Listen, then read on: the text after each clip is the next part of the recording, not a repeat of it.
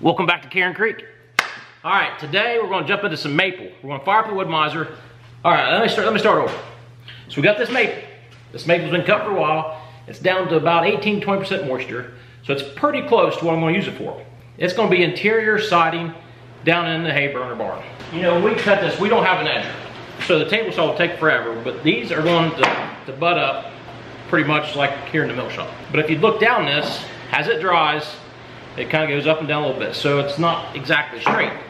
So after it's dry, what I consider to be dry, we're gonna edge it on the sawmill. We're gonna stack a bunch up, zoom, get some nice, clean, straight edges. The Wood-Mizer can do that, right?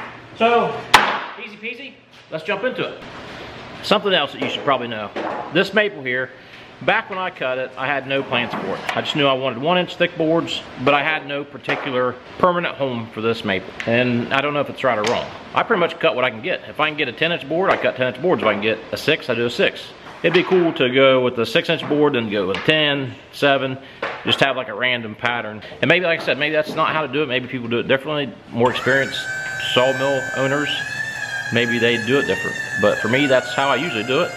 Unless, unless I know I have a particular project. If I know exactly what I'm doing with this lumber, yeah, then I'll custom cut it to the to the width I think I need, the thickness and whatnot. But when I'm just randomly cutting to play, I guess, on the Wood-Mizer, which is nothing wrong with that, that's how I do it.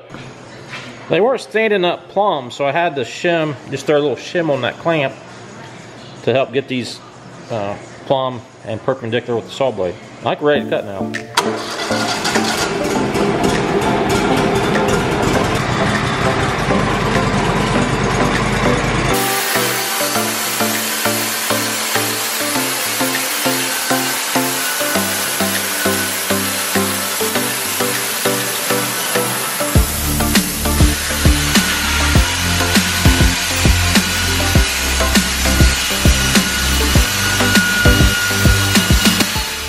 All your dreams come true? I know a lot of you guys already know something like this, but I wanted to show you a little trick that I always do. So like right now, I need to cut a bunch of boards 37 and a half inches. Like there's 13 I gotta cut. So here's what I'll do. 37 and a half. That is correct right there. I go up to my mark. So that's my stop for cutting 37 and a half. And then I'll get the board. This is what makes it nice. I don't have to measure each one. Hey guys, I'm being super lame, but it's Saturday night, 8.30. I'm just, I'm whooped for the day. So I'm gonna head home and catch up on YouTube's myself. And that's what I wanted to ask you guys, you guys that's watching this channel. I wanted to ask you who all you guys watch on YouTube. Uh, I like to watch Out of the Woods, Outdoors with Morgans. I used to watch Ranger Star, not so much anymore. There's a couple local guys I watch. Brian's farming videos. Uh, he's a friend of mine, and he has several. He's got a huge YouTube channel, doing super well. He just hit 100,000. Actually, about the same time that Nathan from Out of the Woods hit 100,000 subscribers. And actually, Nathan claims he watches our channel, so we'll see if he catches this in the comments. Because I've talked with Nathan and a couple other guys about doing some collaborations. Uh, they say if a, a small-time channel like yourself can get with a bigger channel, and if you both have a benefit, like if I can go help them do something, that's my contribution to help Cairn Creek grow. Yeah, drop us a comment. I'm gonna go get some rest. But while you're waiting for me to come back to the mill shop in the morning, let's go ahead and throw a little episode of JSF Experience in here right now. It's a sewer line we've done in town. On the JSF Experience today, we find ourselves inside for the time being. Let's show you what we're doing. Here we are looking at the back of this home. That is the main sewer line going out, going out the back of the house, and then it wraps around to the front of the house. We have a problem about 10 feet out in the back of the house. Problem is, after this home was constructed, they built a room addition in the back, and that room addition is over top of that sewer line. So our solution is to reroute the sewer line out the front of the house. We're gonna cut it out to the front, excavate a new line out to the city's main sewer line.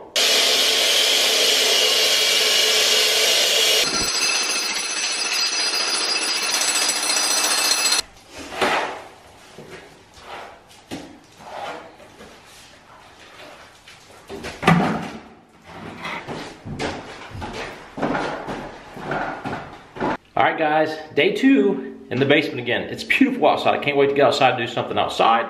Took forever to saw this concrete. It got really deep. We were up to eight inches here in the center. Had to get a jackhammer, you saw that. We got to catch this four drain, catch this downstairs bathroom, and reslope it all to the front. Easy peasy, right?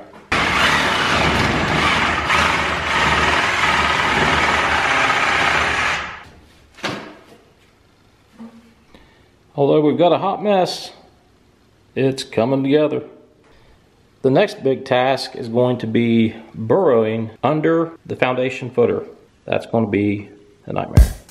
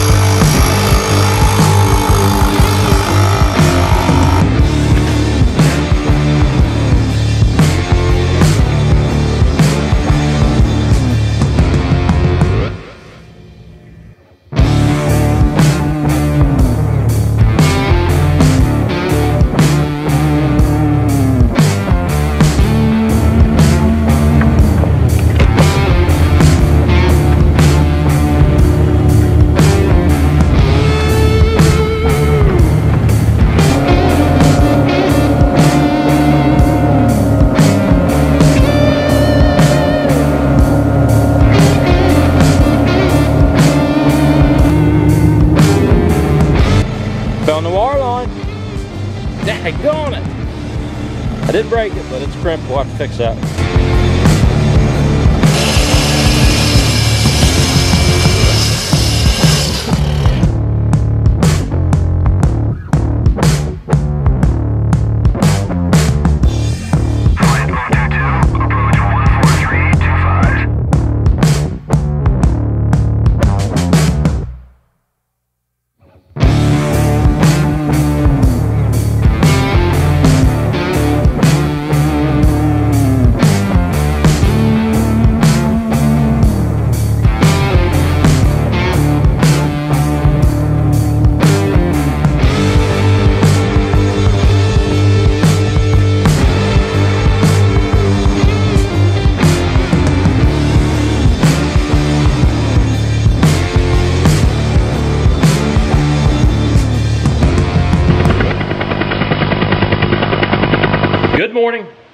It. Sunday morning now, so we got a whole day of Sunday to play and be productive out here at Cairn Creek.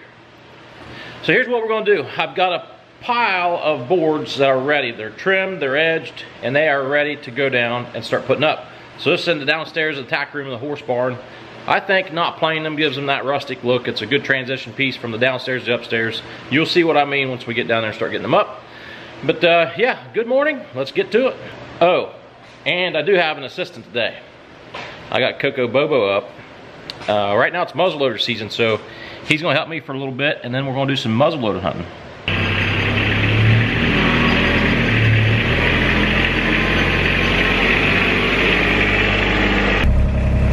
We really gotta get that cabin up on the hill, but it's just too daggone muddy. It's, uh, I mean, you can kind of see here in the driveway, just had a lot of rain last couple weeks. Guys, I mentioned to get that up there. I really am. That's a lovely project I'm excited about, but it's just been too wet. Coco's tightening up insulation. Let's show you what we're going to do down here. All right, so we have this wall. We've we've previewed this wall before. That's the stairs, obviously, and then there's going to be like a, an open pass through, a view through to the upstairs. So this is where the maple's going to go. It's going to go on this, this wall you see here, the bare insulation. We've got our boards down here. I've got the compressor. We're going to use finish nails.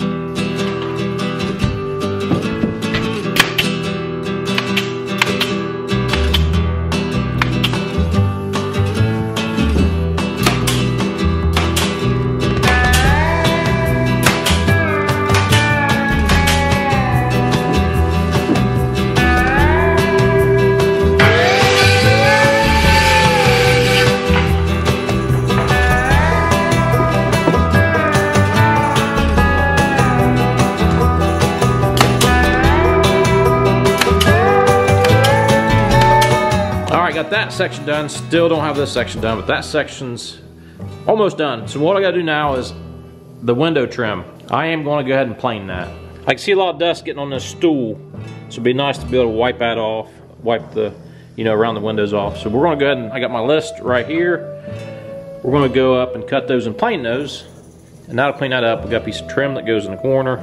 To hide that, we'll have a piece of trim that runs up the uh, stringer here. It looks cool. Well, I think it looks cool. Like I said earlier when I, when I talked about the transition so this here's plywood, but we're gonna cut strips to make it look like board batten. This will this will be covered with shelves and saddles and, and all that stuff. But this piece here, I believe it helps get us our transition from kind of plywood and then we're easing into the finished room upstairs. That's the transition I was talking about. But Coco got a uh, new muzzleloader for Christmas. So we're gonna go put that in the gun sled, get some lunch, get a bologna sandwich or something, and we're gonna fire that gun or that we're gonna fire that muzzleloader make sure it's uh, pretty accurate. He shot a couple times, but not from the sled. I would like to start in the sled to make sure it's, it's pretty good.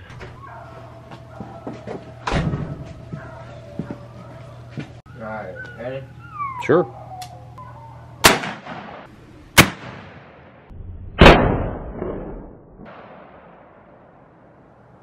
Got the boards planed, heading back down. And let me tell you, Coco came in here after he fired that gun and cleaned it. I know it's called YouTube, not smell tube, but it stinks so bad. I mean, it stinks bad, especially when you go outside and walk back in. Woo! Before we get back into it, I wanted to show you guys one more thing before we get back downstairs. The drywall. One more coat of drywall, some sanding, and it'll be done. And I've been meaning to tell you guys, I guess I need to show you guys how you finish drywall. You get your phone out, you call your old buddy that knows how to do drywall, and you say, hey, can I pay you to do this drywall? That's how you do drywall. drywall sucks. All right, we're getting this one together. Got the stool down on the bottom here, and got these side pieces we're going to put up. And I'll show you a close-up, but I always like to leave a little reveal here. I am not a trim carpenter at all, not even close. I'm more like a hammer carpenter. Here's that review I was referring to, this little this gap here. It just helps clean everything up. I mean, everything's not straight, especially dealing with this rough cut lumber. I mean, I know I planed it down, but it's still, it's not perfect. But it's projects like that. If you're new to the channel, I wish you'd jump in and subscribe. But if you're new to the channel, you're new to watching what we're doing, this is part of what's so awesome with having that Wood-Mizer sawmills. We can create things like this. It's a story that's told for years just because it's lumber that we made from this property, we cut ourselves. Uh, just makes the whole experience more exciting, more interesting, and that's that's what we dig. So if you're in the market for a Wood-Mizer, like I always say, just get in the game. If you say you're too old, you're not. I just seen on Facebook some guys, uh, 65 just ordered one. Uh, and if you're young, man, how cool it be to be young again? Because I would have got a Wood-Mizer when I was like 20. So I've lost 20 years of my Wood-Mizer life because I, I didn't know that it was so cool. But So if you're young, old, 40 something like me, just get in the game. Remember all that tough guy drywall talk? Well, there's a caveat. if it's just a small piece, you can put it up yourself. Now with that little piece of drywall, I can go and finish my corner trim. That makes me happy. All right, guys, we got that done. It looks fantastic. That is exactly how I wanted that to look. I'm so happy with this getting done. Now it's up to Miss Kim to get some staining done and just finish that off. Drywall should be done tomorrow. It's moving along. Weather's looking good. Oh my goodness, the weather should be perfect for this weekend to maybe get up on the hill to work on that cabin. Maybe not really exciting for you, but it's heavy equipment. It's outside. I myself am pumped about that possibility of good weather to get that cabin job to the next level. So having said that, guys, once again, another solid episode. Thanks for watching. Thanks for working with us. Cairn Creek, over and out.